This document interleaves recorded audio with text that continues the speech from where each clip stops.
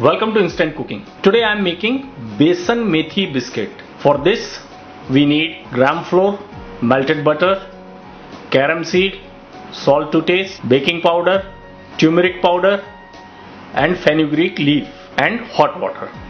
So in a bowl add 100 grams of gram flour, add half a teaspoon of baking powder, quarter teaspoon of turmeric powder, add salt to taste and half a teaspoon of carom seed. Mix them.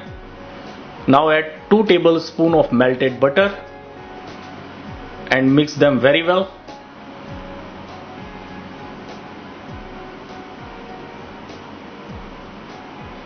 Use your finger and mix them.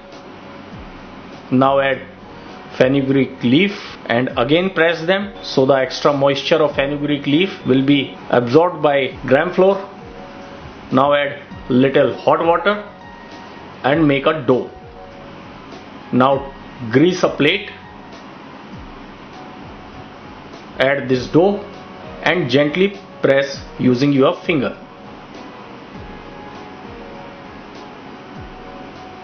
Flatten them.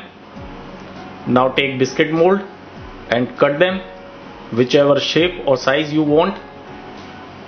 You can use knife if you want rectangle biscuits. And now place the biscuits and on preheated oven 180 degrees Celsius bake them.